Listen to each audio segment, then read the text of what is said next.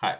So in this video, I'm going to talk about how you can utilize the free time you have in, in the summer uh, to learn quantitative finance. So if you're a student and uh, your semester exam uh, just got over and you want to utilize the time that you have to learn something new, to learn something that is challenging, then I'll, I'll tell you as to how you can, you know, uh, learn quant finance. Even if you're not interested in uh, making a career in quant finance, it will still be you know useful if you learn uh, quant finance. Um, but if you're, if you're really keen on making a career in this field, then you really have to then start learning, right? And this is one of the best time to uh, to start learning because you know in summer vacation you have a lot of time so you can really focus on uh, you know doing a lot of things right and and uh, you also have the flexibility of learning the way you want to learn because unlike learning something in a university where you don't have that flexibility right? You don't decide what is the syllabus of the course that you are doing in the university right? Um, but here you have the flexibility. You don't have to give exams here. So you're doing that for yourself. So that's interesting but that's also can be a bit challenging sometimes right especially focusing on thing not being disciplined and all that. So i'm going to tell you as to how you can make the best use of you know six weeks or two months of vacation that you have in the summer. Okay uh, one way to go about is to do an internship. If you manage to find an internship opportunity at a financial service firm that's uh, perhaps the best way to learn. You learn on the job and i always believe that learning on the job is quite good. Uh, if you've already learned a bit yourself really helps you know finding internship opportunities. But uh, it's not always easy to find internship opportunities. Um, and uh, it's already summer right? So you should have already uh, already uh, tried long back if you wanted to work in the summer as an intern right? You can't just find a intensive opportunity in one week or two week uh, time period right? You need more time for that. So you need to find an opportunity well in advance before the summer in order to be able to utilize your summer. But if that is something you have missed you still can learn in different other ways okay? So one of the ways to uh, take help from a mentor do a course uh, which is more structured um, and talk to people who are in this field and uh, learn from them. So that's uh, yeah another alternative. Uh, you could also utilize the free resources available online for that. That's also quite possible that you learn from you know the different resources available free of cost online from youtube videos from different blogs reading some books good books.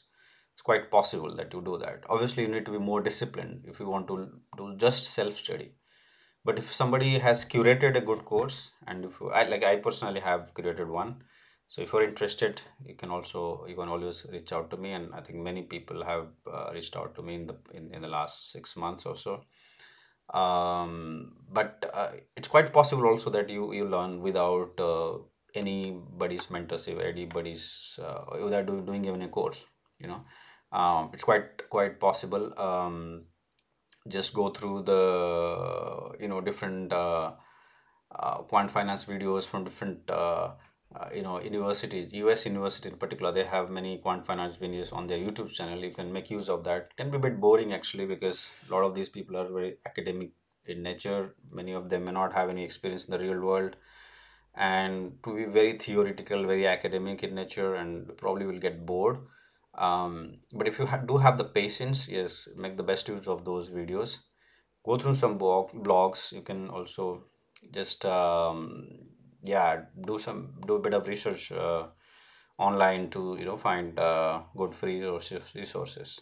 But if you want to learn in a bit more structured way i think it's it's good to you know do a course and and um, that is somewhat better in my view. Um, right but there are other ways also to go about it. For instance uh, just uh, learning by doing uh, which is um, to just do a project right? You know the problems in quant finance uh, are very very uh, well known right? You want to invest your money you want to get best return. You want to lend money to some customers uh, and you want to get the best return out, out of them with minimum risk right? So these questions these problems are very much well known to people right? There are many ways to uh, solve these problems. There are many different techniques used.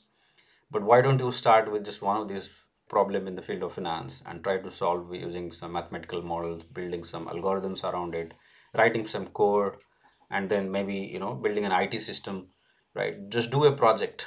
That's what i'm trying to say. You know do a project uh, a side project um, you know learn some programming and do a project right? It may not be great but just do do it right? Don't think about okay i'm doing it correctly or not so correctly but just go and do it. Uh, that's also one really good way of just starting in this field right? Some people believe that it needs to be uh, you need to first learn the theory before you, you do anything. Uh, i kind of uh, disagree with them because things have changed a bit over the years actually because you know 20 30 years back i think in quant finance you really needed to use a lot of theory. But i think things are changing a bit. Now i think the uh, in, in the in the in the industry um, there is uh, increased importance of simplicity. That means uh, you don't use very sophisticated models but you use very simple models. But what you really uh, care about is uh, efficiency right? Have building good systems ensuring that the model that you build even if it is simple is is built uh, with you know um, uh, with uh, you know um, a lot of care. That means you have really taken care of all the assumptions and you have uh, taken care of all the instances the model can um, be very inefficient in, in predicting things you have done proper risk management you have the checks and balances in place. So all those things are very important nowadays compared to late 20 30 years back where people were experimenting you know a lot and very academic sophisticated models used to be uh, used. Uh, having said that in some areas of quant finance you really need to use quite a bit of theory right? For instance derivative pricing. If you never never have used derivative pricing you can't just build a model you can't build a system. So you really do you know understand derivative pricing very well. So it's very but that's not something for example in credit scoring right? Credit scoring it's a very uh, you know very well known uh, quant finance uh, modeling technique in the field of finance. And uh, it's not you know rocket science to be honest to build credit scoring models right? There are some best practices but you don't have to worry about those best practices. Uh, just go on building some machine learning models or uh, you know you may be, may not be doing great be, may not uh, be building it correctly for the first time but do it using the first principle right? You're just assessing the probability uh, that the customer that uh, uh, you are serving is, is a good customer or not right? So don't worry about the industry based practices just go on building something. You could be also building some machine learning models around forecasting financial uh, asset prices right? So that is one project you could do. There could be projects around let's say portfolio maximization. How do you ensure that a mix of uh, assets in your portfolio could be commodities some stocks bonds give you the the best return for a given level of risk right? So uh, it's an interesting problem right? So go on doing one of these uh, these projects. That will help you a lot in terms of learning more and more right? Um, so yeah you can also learn quant finance through doing something right? It's more like uh, how you learn programming right? Where you build a system and uh, you, build a system for for something right? And that's how you learn syntax and and the way you do the, the coding and all right? Um, again i would like to tell you that uh, uh, you can't do that in all areas of quant finance. There are some areas where it's it's quite difficult but uh, there are certainly some areas where you know you, you can do some projects without even having any background of uh, you know the theory and everything. Okay. Um, i would still recommend you to do a proper course uh, more structured one and get bit of mentorship rather than trying on your own. But if that is not an option for you then do the other one right? I think anything you would like to know eh, like to learn uh, can be self-taught. And i've said this many times on this channel it certainly can be self-taught. I don't you don't need any mentor you don't need to do any course. You just uh, read some books and watch some online videos do some projects. I think that should be enough to get started in this field. But it's not for everybody right? I know i think 9 out of 10 people cannot do that. Um, no. At least in my experience i've seen that you really need uh, someone to help you out a bit. Okay? And especially because this is one field which is more applied right? You know you don't have a lot of things on online actually you know it's it's, it's not not uh, everything about quant finance is there on on the public domain. So you don't have the access to uh, yeah a lot of things. So that's where really it, it really helps to you know um, to talk to someone um, but yeah you can make use of your time in any of these ways either you do an intensive do some projects yourself you know read some blogs read some books watch some free videos maybe or do do a, a proper course right?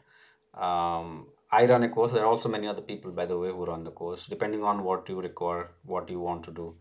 Like some people want to do just algo trading right you know there are some good people who are making good uh, who have made good algo trading courses. I wouldn't recommend anyone because i haven't done any of their courses so i am nobody to tell you as to what what's good and what's not. So that's up to you to do the research and and to to to know about that. But if you want to have a more balanced view about what quant finance is which you know covers you know a bit of theory but also applications um, something that you can be you can finish in about two three months time then you can always reach out to me. I do uh, have a very beginner friendly course and uh, yeah the initial feedback has been great. Uh, many people have uh, shared their feedback. It has been great. So in case you are interested let me know right? If you want to make use of your summer time then um, you could go for this course. But otherwise also if you have any other questions let me know if i can help you with anything okay thanks guys